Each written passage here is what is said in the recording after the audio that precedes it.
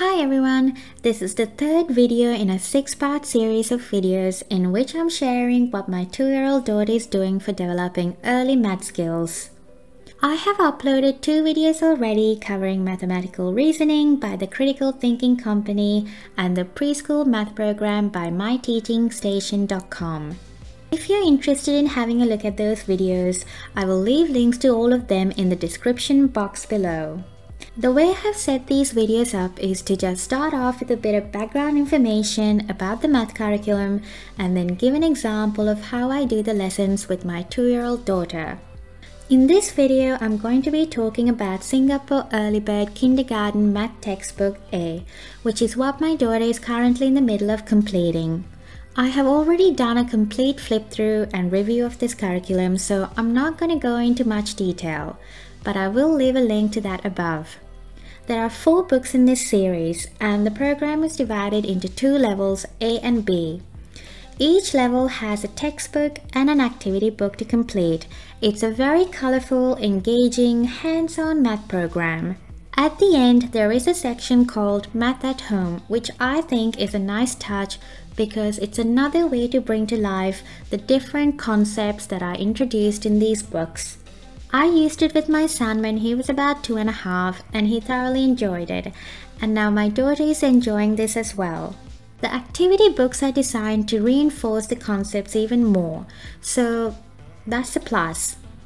You don't have to use the activity books if you don't want to, but having them means that if your child needs a little bit of extra help with a particular topic, then you have a go to, and you can just do a little bit more to work on developing those skills. Now, my daughter has been practicing writing her letters and numbers, so she does know how to write. But sometimes when I'm working with her on these various curricula, I do like to break things up and use different manipulatives. So sometimes I use number tiles, attribute blocks, interlocking cubes, and so forth, and that just makes it even more fun. One, two, three, four. One, two, three, four. Four.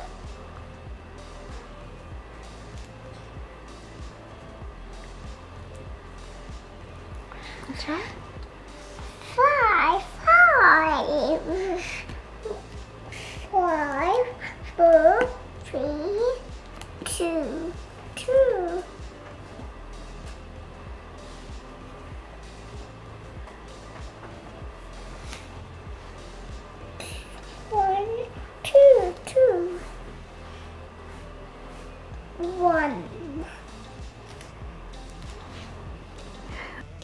Count the number of ducks?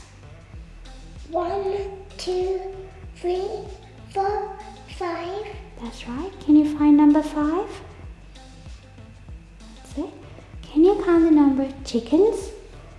One, two, three. That's it. Can you count the number of cows? One, two, three. That's it.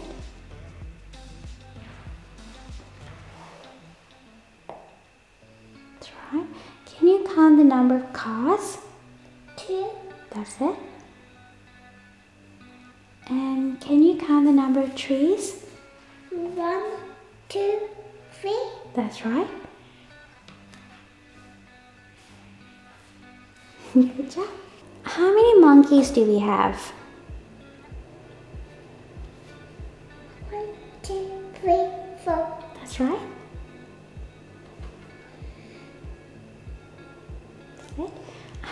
Hoses are there?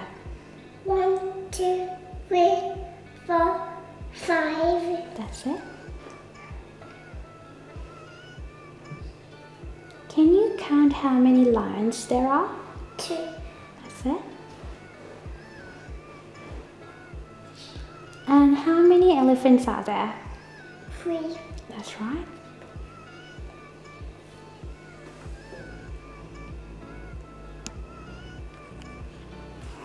Good job. I hope this video has been helpful and thanks a bunch for watching.